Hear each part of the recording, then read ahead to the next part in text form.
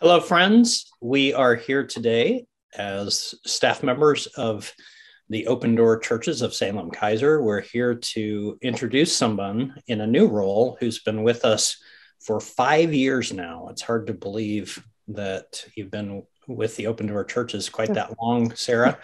But we're happy to introduce to you Sarah Katrine Hoggett, uh, who is very familiar to many of you, but is now going to be serving a new role with the Open Door Churches.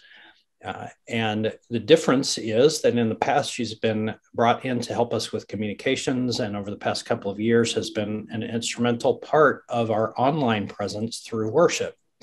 But in her new position, she will be helping us as part of our outreach strategy and helping create and implement an outreach strategy online.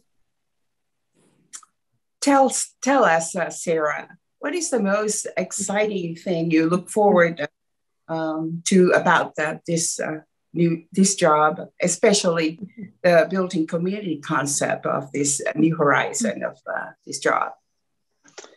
Well, for the last two years, as we've been going through the pandemic, uh, we've been exploring what it means to have all the videos available of our services and online classes. It's been amazing to see that come together and reaching people that otherwise wouldn't be able to make it to church. So, this job provides us the opportunity to explore that further.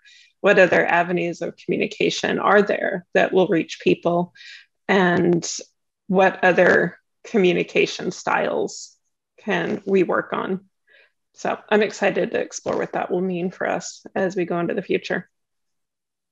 Thank you. We are excited to continue our relationship with you and continue to grow in our outreach and communication.